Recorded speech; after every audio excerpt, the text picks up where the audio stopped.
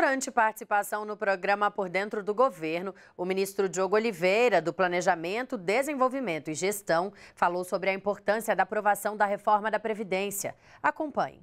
É muito importante reformar a Previdência, é de que o sistema atual é um sistema muito injusto. Vou te dar apenas um número para a gente memorizar. As pessoas que se aposentam ganhando um salário mínimo, em média se aposentam com 60 anos de idade. E as pessoas que se aposentam ganhando mais de seis salários mínimos se aposentam em média com 50 anos de idade. Você vê que tem uma tremenda injustiça exatamente contra aqueles que ganham menos. O que nós estamos propondo é um sistema igual para todos. Um sistema onde a regra de idade vai ser a mesma para todos, não importa se é, é, político, se é parlamentar, se é funcionário de governo, se é um trabalhador do setor privado. Todos vão ter a mesma regra de idade para se aposentar. E vai ter uma longa regra de transição de mais de 20 anos para que se alcance é, a, a, idade é, de 65 anos.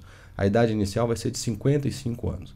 Então, aí tem toda uma transição até chegar em 65 e é, corrigir toda essa distorção que hoje existe. E a regra de cálculo do valor do benefício também vai ser igual para todos. Então, o que nós estamos propondo é um sistema que vai acabar com as distorções, acabar com essas, é, esses privilégios, esses ganhos excessivos que alguns grupos ainda têm dentro da Previdência.